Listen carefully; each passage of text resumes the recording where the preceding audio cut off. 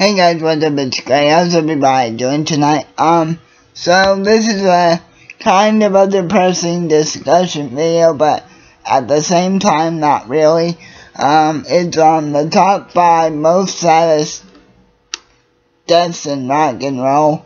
Um, so coming at number five would have to be um, uh, the man who played rock and roll himself. Lemmy Kilmister from Motorhead, who unfortunately died at the end of last year due to a terminal brain cancer. Now, the reason that this comes in at number 5 is because, well, unlike a lot of the people on this list, um, we kind of actually knew that the end might be coming for Lemmy and Motorhead just due to the fact that, um, they had to keep adjusting their tour schedule due to um, Lemmy's health issues. So, at the end of the day, we um, pretty much knew this was coming. Um, coming in at number four would have to be uh, Kurt Cobain from the from Nirvana. Now, the reason that this is number four is because nobody really anticipated for Kurt to die. I mean, um, at, at the time, Nirvana really, uh, was just starting to, uh, make, make dent into the industry, and I think that if, uh, the, if Kurt and the other guys had stayed together, um, I think that they could have, uh, really went on to be just as big today as they were then. I mean, at the time Kurt died, um, the band still had the band was still together, but obviously after Kurt died, that was basically the end of the group. Um, coming in at number three would have to be, um, Beach Boy Dennis Wilson's death.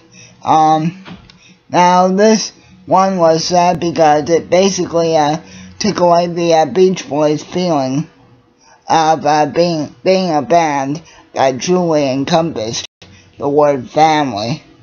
Because think about it, you got uh, Bri Brian and Mike, that the actual flesh and blood cousins. Brian, Dennis, and Carl, they're actually flesh and blood brothers.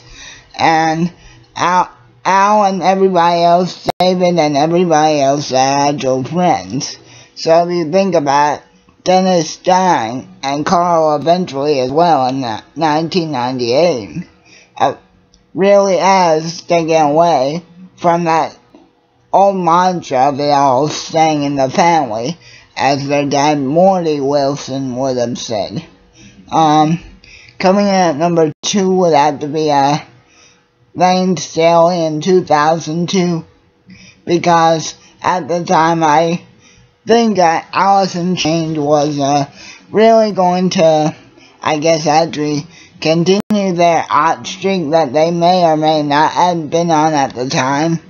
Well, not really continue the art streak, but maybe perhaps recapture the recapture the thunder, if you will, because um, their their actual last show, touring show that is, was uh, on J July 2nd of 1992, and that was because of Layne's uh, crippling ha habit with cocaine and everything else.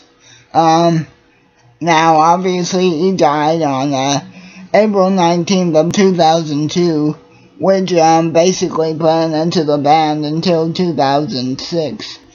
And then of course, you probably all know what's going to come in at number one for me.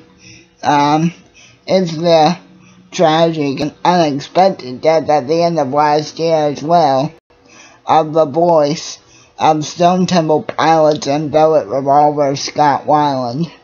Now, as I'm saying numerous times, um, Scott did actually die from a a drug and alcohol overdose, but also due to complications from from a weakened heart, from also years of drug abuse. Now, the reason that that this is number one is because much, much like, uh, much like most of the acts on here, um, I think Scott left the party before he was anywhere close to being done. So, I hope you guys enjoyed that, and um, stay tuned for more. Keep on rocking, yeah.